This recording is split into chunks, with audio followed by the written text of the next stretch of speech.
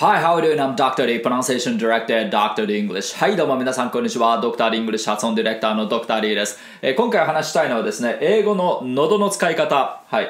あの、今回のテーマは本当に英語を発音する上では、あの、本質中の本質になるので、えー興味のある方は、あの、ぜひしっかりと見ていただきたいなと思います。いつもの動画以上にしっかり、あの、学んでいただければなと思います。で、あの、私自身、この、あの英語は喉を開いてこう発音しろっていうことですね。これもネット配信し続けてあの早もう12年が経つっていうもう本当にあのこれがあの私の言いたいことのもうなんていうか根本の部分ですね。はい。なので、えーちょっとしっかりやっていきたいなと思います。はい。それではですねあの格段に英語が上手くなるコツ本当にここにつながってくるんですよ。で英語上級者になっても拭えない不安っていうのがまああの日本人にかなりこう共通してありましてですね。まずあの一発で言ったことが通じない。特にあの初対面の人ですね。あの毎日会ってるような人だともうその人のなんていうか発音の癖とか汲み取ってもらえるので割と通じたりとかするんですけども、えー初対面の人とこう話す時にうまくこうあの会話が成り立たなかったりとかします。これかなりの上級者になってもこの悩みがなかなか拭えないというパターン多いです。で、えーあとはですね一発で聞き取れないというねこれも特に初対面に起こりがちです。はい。これも先ほどと同じ理由ですね。はい。お互いにこうねあのえーまあ、心知れた中だとあのその言葉言葉以上のこのつながりがあったりとかするので割と相手がこう何を言ってるのかっていうのが発音がかなり崩れててもまああの汲み取ってもらえたりするんですけども初対面の場合も本当にそうじゃないので、えーかなりこうこれで苦労するっていう方が、えー多くいらっしゃいます。で、えーこういった、まあ、あのこれはですね英語上級者に限るわけなんですけどもそういった方は本当にこの喉の使い方を知れば、えーこれ全部が解決するっていうぐらい本当にその英語の根本的な部分になっていきます。でですね、えーもう英語は喉を開け。はい。ここはもう本当に本質になります。で、えーちょっとどういったことなのかっていうのを、あの、日本語を話す時の声と、英語を話す時の声でちょっと比較して説明してみたいと思います。で、まず、えー我々がこう日本語を話してる時のその口の中の状態ですね。あの、こんな感じになってます。まず、あの、すごく狭いんですよ、ここが。口の開きというよりかあーって思いっきり開くというよりかはなんていうかその喉の口の奥の方のその、えー空間ですね。これがかなりあの狭い状態で日本語って話されてます。そうするとどうなるかっていうとあの「Hi, how are you? Hi, how are you?」こういうふうに英語を発音したとしても声自体がかなりこう薄っぺらな声になってしまうんですよ。で、えーそれに対して英語っていうのはここが広いわけですね。はははは。これを広げるとははははこれだけでだいぶ響きが変わるわけですね Hi, how are you? ここを細くして言った音 Hi, how are you? でここを広くするとは Hi, how are you? Hi, how are you? Hi, how are you doing?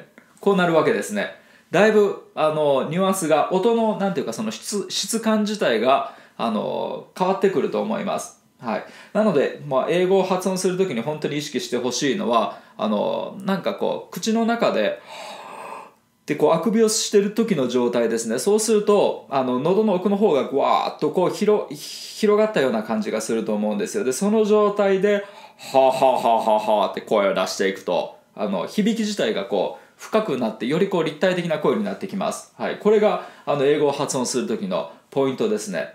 はい、なるべくこう口の中を広く保ってあげるっていう、はい、ちょっとこうワンフレーズごとに比較してみましょうか、えーまず普通にあの日本語と同じような声の出し方で「Where's Matt? Where's Matt?」こんな感じになるであくびをして喉の奥を開いた状態でいくと「は Where's Matt? Where's Matt? Where's Matt?」これぐらいの差があるわけですねで次、えー日本語の発声でいくと「I don't know」「I don't know」こうなるで喉の奥を開いて言うと「は I don't know I don't know I don't know I don't know. I don't know. かなりニュアンスが異なると思います。こっちなんかこう喉を開いて喉の奥から発声した時の方が音ってなんかこう分厚くがっつり出るような感じですかね、はい、特にこのストレスを置いてる部分とかはそうですね。I don't know. I don't know. I don't know. I don't know. はい。平たく言うと本当に日本語の声って薄っぺらくて英語の声ってもう少しこうあの深みがあると思います。はい、その深みが結構その英語の、えー、特にこの母音の質感とか優勢音の質感を出すのに、えー、重要だったりします。はい、で、えー、probably out for lunch probably out for lunch これが日本語の声の出し方で喉を開くと、はあ、probably out for lunch probably out for lunch probably out for lunch probably out for lunch こうなんか根本的に違うと思いますこういったことですねはいまとめるとあの日本語の時はあの口の中がこう狭い状態で、えー、こう発生されているのでどうしてもこう英語を発音しようとしても音がフラットになる。で英語っていうのはもう少しこうやって喉の、えー、奥の方を広げてですね発音するので、えー、Where's Matt? I don't know. Probably out for lunch. こういうふうな、えー、アプローチになってくるっていうことです。はい。で、えー、まああの先ほど試してみて、えー、分かったと思うんですけども喉を開くとこう声が変わりますよね。はい。It's better to open up your throat. はい。えー、まず特徴としてはですね、深くこう響く母音が得られますよね。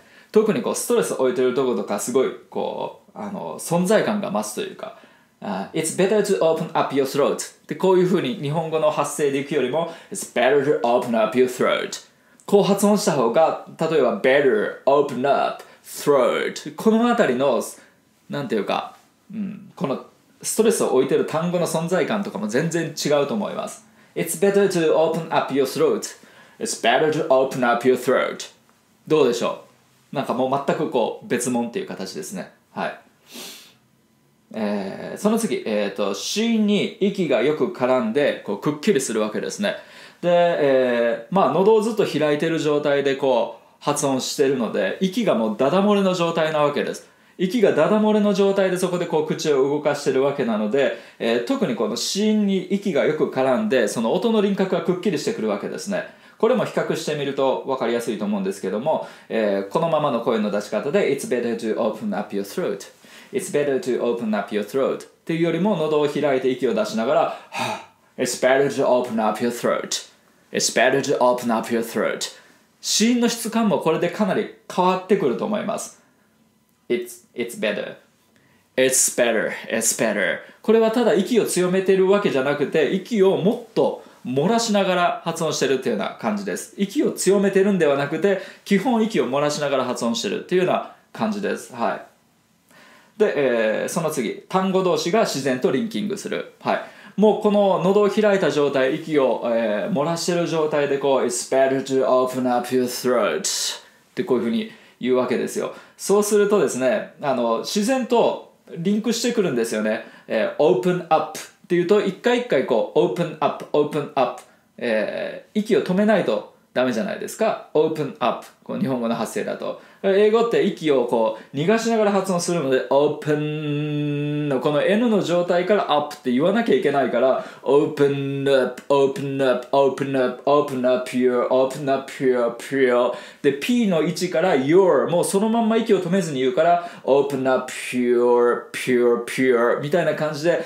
全部こうリンクし当たり前のようにリンクするんですよね。だからあの例えばよくあのリンキングの法則でその、えーと、語尾の子音、えーと、語尾の子音でその次の単語の頭が母音の場合だとそこがあの一つの音になって、えー、 up、open、open、nup、nup、up が nup になりますとか、えーと、そういう法則をあの、まあ、勉強してもいいんですけども、えーと、そもそもこういう声の出し方をしてると全部そういうふうにつながらざるを得なくなるっていう、はい、そういうことなんですよね。だからネイティブがそのリンキングを意識して、え、発音してるかというとそうではなくてそのそうなっちゃったっていうその結果論に過ぎないということですね、はい。まあ、これが本当にだから本質中の本質になってくるわけです。喉を開いて息をダダ漏れの状態でこう英語を発音するんだっていうもう本当にそこが、えーえー、完全ななんか根本的な部分になってくるわけですね。はい、そういう声の出し方をするからこそ母音が何ていうかもう少し深く響いてきたりだとかその子音によりこう息が絡んでのスププシとか息が漏れる音がよりこう聞こえてきたりだとかあとはこう単語同士がリンキングしたりだとかそういうことが起こってくるわけですね自然と。で、えー、今度はその日本語なまりというのはその元を正せばそのえーと、日本語のこの発声方法のまま英語を話してるからということなんですけどもそれの悪い癖ですね。あのもう本当にこれです。はい。喉を閉めるっていうあのこれがもう一番悪いあの癖です。でこれがあるがゆえにもう本当にこの日本人なまりの悪いところがいろいろこう生まれてきちゃうっていうことですね。だからここを正すと,、えーと、大体大体のことはこう解決してくるということです。はい。えー、まずまず頻繁にこう喉を閉めない、えー、閉めてぶつ切れの発音になっちゃうわけですね、はい、日本語例えば日本語ってそんな感じじゃないですか。日本語ってでここで一回喉を閉めますよね。日本語ってそんな感じじゃないですか。でこういうふうに一個一個発音していった時に語尾で必ず喉を閉めてると思うんですよ。ちょっとやってみてください。日本語は「わ」って言った時に最後喉を閉めてません。それ以上息が出ないですよね。でも英語ってなるべく息なるべくというか常に息を漏らしてる状態なんで日本語はで次の音に行くまでも息がずっと漏れてるんですよね。これがその英語のなんていうかその発声のコンディションなので、えー、かなりこうそその辺りでこう日本語と異なってくるわけですね。日本語はこのようにあの語尾で喉を閉める、えー、と発音方法なのであのやっぱりこうそれで英語を話した時にかなりぶつ切れな発音になってしまうっていう It's better to open up your throat ってこうなりがちなわけですね It's better to open up your throat 息ずっと出してるとこんな感じになるわけですね。はい。喉を閉めなければ、It's better to open up your throat 自然とこんな感じになる。日本語の発声方法だと、えー、特にまあなんかもう少し専門的に言うと有声音のあの有声音を喉を閉めることによって終わらせるんですよね。It's better, better ってここでも喉閉めますよね。to open N の後でも喉閉めますよね。open up なんかいちいちこう喉を閉めるんですよ。でそれ全部やめると It's better to open up your throat 喉を閉めると It's better to open up your throat こんな感じになるっていう。はい。えー、その次、えー、息がこう死因に絡まないわけですね。なのでその頻繁にこう喉を閉めていくので息の流れがその都度こう遮断されてくるわけですね。だからそもそもフレーズ発音してる時に全体にこうブレスの流れが通ってないわけですね日本語っていうのは。なので、えー、その分こう子音に息が絡みにくい。で英語の子音って特にその息を、えー、息を発音器官にこう当てることによってできる音なわけなんですけどもなかなかこう息の当たりが悪いので、えー、逆にこの子音があの埋もれてしまったりとかするわけですね。あとはあの単語をこう個別に発音してしまうというあのそういったところにもつながってきますね。It's better to open up your throat 一個一個の単語をこう発音しようとするじゃないですか。英語の感覚っていうと、なんていうかその、えー、内容語を中心にですね、It's better to open up your throat みたいな感じで、ワンフレーズごとにこう発音していくっていうあの感覚なわけですよ。一個一個の単語をこう頭の中でこう並べて、えー、作ってるわけじゃなくてこのフレーズ単位でこう出してきてるわけだなんですよね。でそのフレーズ単位が、えー、なんかこう一息で発音されてるっていうような感じ。はい、なので、あのまあ、この辺りでも結構差が生まれてくるわけですね。で、えー、ここからちょっと一緒に、あの喉を開くエクササイズっていうのをやってみたいと思います。まずステップ1、母音のみ。えー、母音だけ出していきます。ただこう、あ、あ、あ、あってあをあの繰り返し発音するんですけども、あのこれ普通だと、あ、あ、あ、あって日本語だと絶対に語尾で、ここで喉を閉めるっていう癖があるわけですよ。あ、あ、あ、あ。え、英語はそうじゃないので、ああ、あ、あ、声を止めずにこう「あ」を4回言ってみてください。ああああそうするとこう波を作るようなあの立体的な発音になってくると思います。あああああこういうニュアンスを作ってみてください。はい。そしたら単語で同じことをいきます。awful。この r と同じ発発音から始まる音。Awful, awful, awful, awful. awful, awful, awful, awful 声を止めずに発音しようと思うと例えばこの awful の最後の L のポジションにいるじゃないですか。舌がこう前の方に伸びてておーっていうこの状態ですね。おーこの状態からまたあーに戻るのであーフォーあーフォーあーフォーあーフォー。音が全部つながってくるわけですよ。で自然とこの L の音とあーの音が、えー、リンキングしてると思います結果的に。あーフォーあーフォーあーフォーあーフォー。だから2回目的2回目はなんていうかこの2週 ,2 週目はなんかアーフじゃなくてララっていう L の音から始まってるみたいなそういうことが自然と起こってくると思います。こう喉を開いたままで発音してると。アーフォーラーフォーアーフォーアーフォー。アーフォーアーフォーアーフォーアーフォー。あとはこうえー、はーあーってこういう風な音のつなぎ方をしてるのでこのアーフォーのフォーっていう音って落ちてると思います。アーフォーアーフォー。でアーのところが盛り上がっててフォーが落ちてるっていうようなこういう波の描き方で音がつながってる。ポイントです。アーフォーアーフォーアーフォーアーフォー。はい。まず、はい、母音のみで発音するとこんな感じ。で、えー、さらにステップ2で C も混ぜていきます、えー、H の音。まず口を開いてはっはっ。もう、えー、と H は、えー、なるべく奥の方で、えー、摩擦音を作りたいので本当に喉チンコに対してこう息を当ててる当てる。これをやってみてください。はい。そのあたりで、えー、まずこの H の摩擦音を出して母音につなげる。はあはあはあ必ずっていう摩擦音が出た後に母音を乗せるようにしましょう。はあはあはあって一緒に出さないように。はあはあ。はい。子音を出して母音を出してっていうこう交互に発音する感じです。はあ。はあ。はあ。で、これを全部つなげたいわけです。はあ。はあ。はあ。はあ。はあ。はあ。はあ。どうですかね？できますかね？はあ。はあ。はあ。はあ。息はずっと漏れっぱなしの状態。喉がずっと開いてる状態なんで息は常に漏れてますよね。はい。で、えー、この感覚で単語を、えー、ループさせます。 hike hike hike hike こうやって息を出しっぱなしの状態を作るトレーニングです hike hike hike って個別に発音しない全部つなげちゃってくださいhike hike hike hike はい、 hike のクって発音するときにはもう次の H に入ってるわけですね。 hike、hike、hike、hike。こんな感じでつながってくるわけです。はい、今度同じことを F でいきます。ファー、ファー、ファー、ファー。まず前半、これはもう F の摩擦だけ。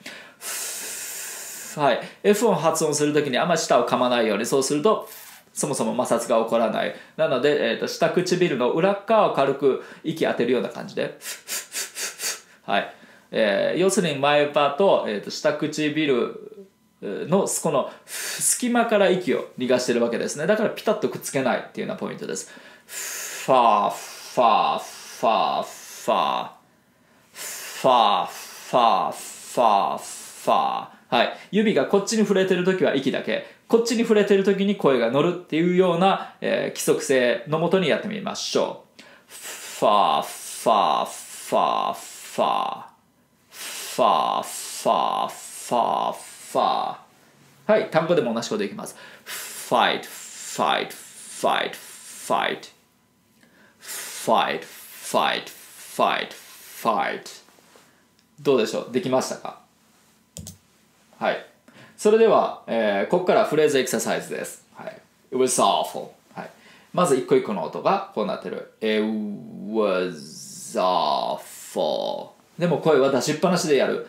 It was awful こうすると自然と was の z の音と awful がつながらざるを得なくなってくるじゃないですか was a was a was a って感じで。えー、あと it の t はねあんま発音し音を出さないように言ってください。It was じゃなくて it was awful そう t の位置に一応下を当ててもいいんですけども it was it was it was. あんま音は出さないようにする、うん、t の音がこうね t みたいな感じで入っちゃうとそこで流れが止まっちゃうので it was awful. It was awful. It was awful. It was awful. はいで最後にこの内容語を中心に発音する It was awful It was awful こんな感じになるその次 I ran into a bear はいはい一個一個の音出します I ran into a bear I ran into a bear I ran into a bear そうすると自然と例えば rant into とかだと ran in ran in ってつながってきますよね。ran の n の状態から in って言ってるので ran in tour で to to to あ to あって個別に発音しないから to to to to to ってこうつながりますよね。I ran into a bear I ran into a bear はい、で、えー、主要なところに、えー、とストレスを置いていて I ran into a bear ran into a bear これを一息で言うっていう感じはい、その次、えー、When I hiked up the hill はい、一個一個いきます When I hiked up the hill あ、ここちょっと間違ってますね。hiked up。えっ、ー、と、D なので、hiked up, t, t って T が入るはずですね、ここ。When I hiked up the hill.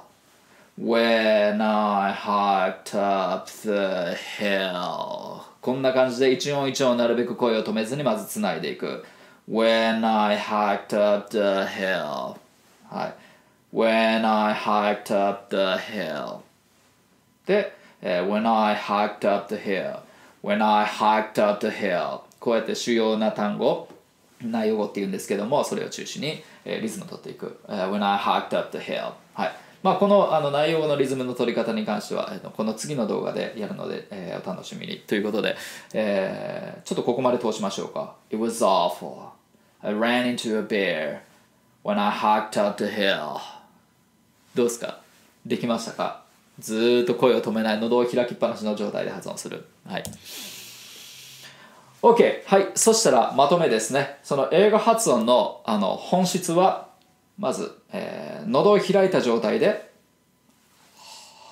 はい、息を逃がしながら、ずっと息が、喉を開いているから、はーってずっと漏れてるわけですね。その中で、えー、発音を絡ませていくっていうね。で、さらに、こう、喉奥からもう声を出していくっていう。はい。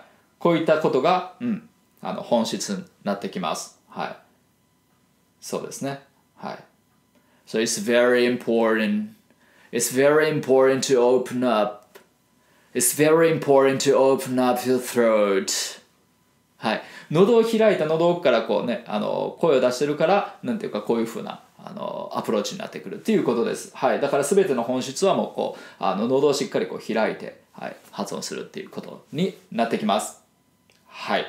いかがでしょうか？まあ、あの、本当に何回も何回もですね、えー、まあ、興味があればですけども、え、こういったことをこう練習してやっていくうちにだんだんとあのその本質の部分が見えてきて、えーと、いろんな部分へのその関連性が、えー、分かってくるんじゃないかなと思います。はいじゃあそんなわけでですね、えー、次回はあのこのその喉を開いた状態で発生するっていうのを、えーと、ベースに置きながら、え、今度はその英語のこの波の作り方というかそのあのストレスを置くうん、そういったアプローチをちょっと、えー、やっていきたいと思います。それではまた次回もお楽しみに。はい、See you next time.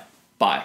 Dr. D English 英語の声を作る発声トレーニングによりスピーキングとリスニングを飛躍させる英語発音専門オンラインスクール発音コース Dr. D 認定の英語発音トレーナーによるオンラインプライベートレッスン動画コース Dr. D English の公式テキストを動画で学べる自習用のプログラム詳細は概要欄にて